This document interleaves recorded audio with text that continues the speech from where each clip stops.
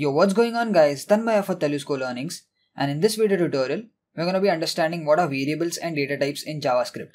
So since this is a very beginner level tutorial, we'll just take a little bit of theory on variables and we'll see the data types and then we'll jump to the programming part. That is, we'll jump to the Visual Studio Code.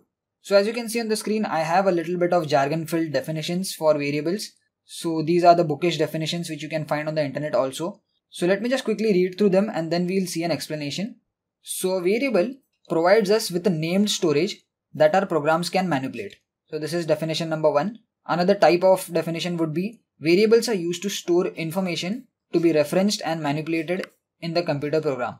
So pretty much similar to the first one, just with a little bit of more words, complex words actually. And then in programming, a variable is a value that can change. Hence actually the name variable. Variable basically means an entity that can variate or change and depending on the condition or the information passed to the program.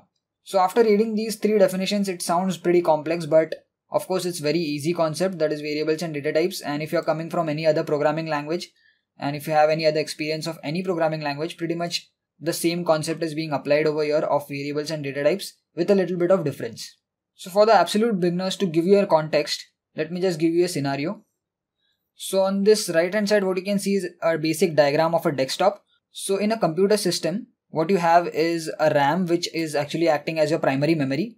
So whenever you execute a program or whenever you open a, any application or any software, what happens is in the RAM, some memory is being allocated. Okay.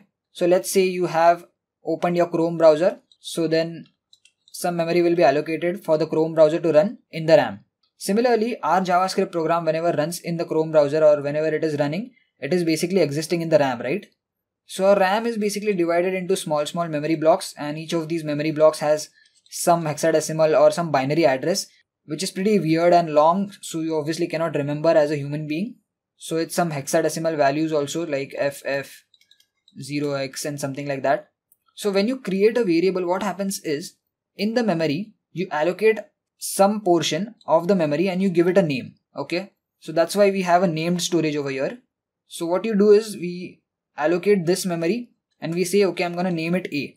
So even though it has an address which is very weird to remember we give an alias name that is an extra name and we call it a. So in javascript it goes something like this. We have to say var a and let's say we are storing a number 5 okay? And then semicolon. So in this memory block we have the value of 5 so we'll talk about the syntax when we actually get into the practical part.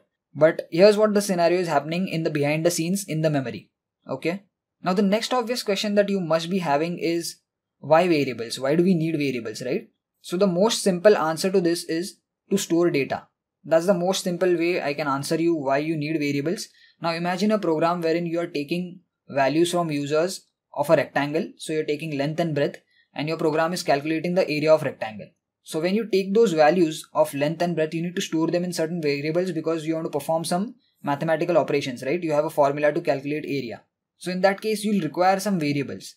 Now, obviously, as a human being, you cannot remember each and every memory address, right? So you cannot remember these numbers. So these memory addresses are big numbers which only a machine can read. So this variable helps us by giving that memory block another name and then we can use this name to access that same memory block. Okay. So this is a basic explanation of variables. Now let's move on to the types of variables or data types of variables in JavaScript. Okay, so now that you've understood the concept of variables, every variable will have a type. And basically type means what kind of data is being stored. So variable var a can store a number, let's say it's 5. It can probably store a string which will have some name abc and it can store boolean and so on and so forth. So of course every programming will have a set of data types which are unique to them. So since we are dealing with JavaScript, we have these many data types as you can see in the tree structure. So we have primitive data types which are three different types of primitive data types number, string and boolean. Then we have some other data types or trivial data types which are actually primitive only just that they have one more name that is trivial or other types which is null and undefined. So this is 1, 2 and 3. So we have numbers, we have strings and we have boolean as primitive types. Again we have null and undefined also as primitive types but they are also called trivial or other types. And lastly we have composite types which are complex types basically, which consist of objects and arrays. So we'll talk about complex or composite types in further videos wherein I'll have separate videos for each of these type. Right now we'll just deal with these three primitive types in the programming part. So before moving to the visual code text editor that is the practical side, these are two very important points that you need to understand for JavaScript, specifically for JavaScript. So let me just read it out and I'll explain to you. So JavaScript is loosely typed programming language. And the second point says JavaScript is dynamically typed scripting language or programming language. It's one and the same thing because we are on the client side scripting. Now remember these two keywords loosely and dynamically typed. Okay. Now let's move on to the programming part and I'll explain to you what does loosely and dynamically mean by showing you examples and we'll also see how to create variables and different variations of the primitive types as well. Okay, so as you can see, I have my text editor open that is Visual Studio Code and this is our basic HTML document. Inside that we have our script tag, but here we have declared certain variables. So in JavaScript, this is how you create a variable. Now if you're coming from a C++ or Java background, this might look a little bit weird to you, right? Because in C++ and Java we used to be like int x equals to 5 and something like that, right? We, we already had a data type but here you can see there is no data type. We are only using the keyword var. So this is where that loosely typed keyword comes into picture. That is JS is loosely typed.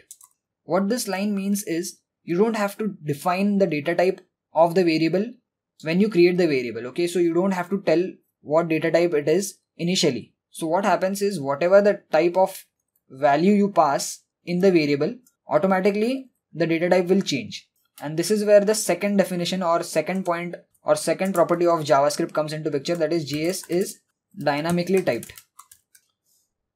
Which means whatever value you pass, depending on the type of value, the data type of the variable will change.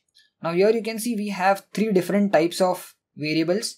So the first one is a number type because we are passing a number in it. Second one is a string because I'm passing a name. Tanmay Sakpal, yeah that's my name and the third one is a flag variable which is having a boolean value which can have true or false so i can change this to false also okay so these are the three basic variables that is the primitive types that we just saw in the previous digital blackboard. So again the way you create a variable you type in var then you give the name and you can assign a value right there itself or you can just declare it and later on assign the value. So this is just declaration and this is initialization.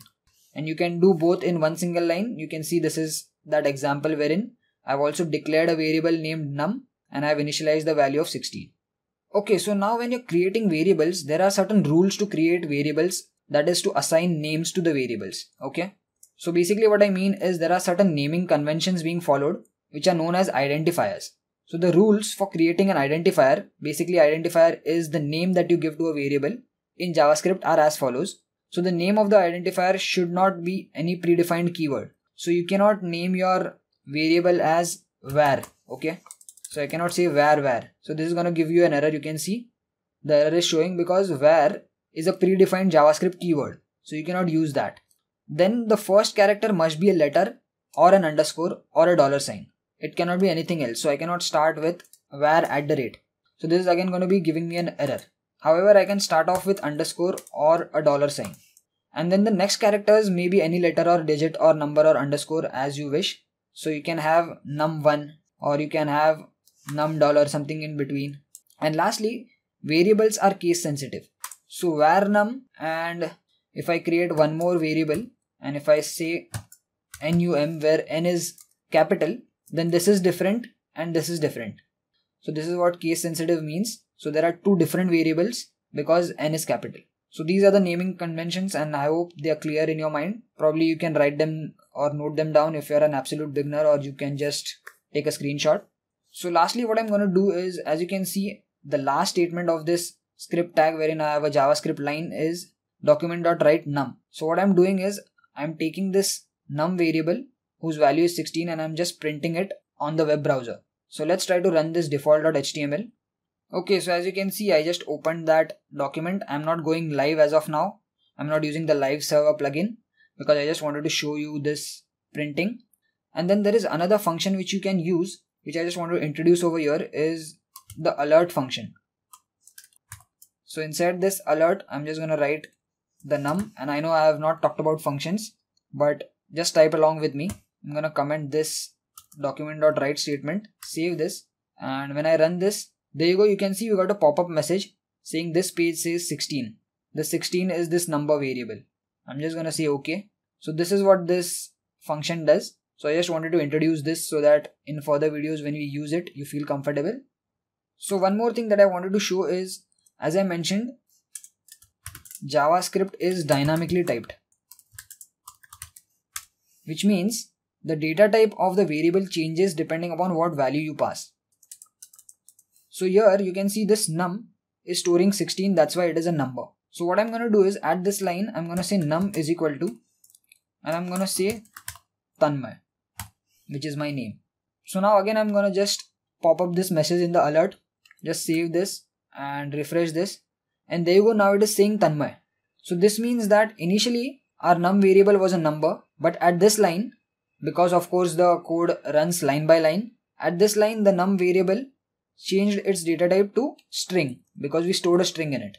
So this is what is meant by JavaScript is dynamically typed. And of course you know what is JavaScript is loosely typed, right? Because we don't have to specify the data type initially. We don't have to say int. This will give you an error. So it doesn't work in JavaScript like that. So JS is loosely typed. Or another way to say it is JS is not strictly typed. So whenever you see a programming language is strictly typed, it means that the data type or whatever type of data is being stored has to be specified before. So that's it for this video guys. This was just a basic fundamentals on JavaScript variables and data types. And I hope you have a good idea about the features that is JavaScript is dynamically and loosely typed. So thanks for watching guys. If you like this video, please give it a thumbs up. Let me know in the comments how this video was. Do share it with your friends. And if you haven't yet subscribed on this channel, make sure to subscribe so that you get notified whenever I upload a new video. So thanks for watching. See you guys in the next video. Peace.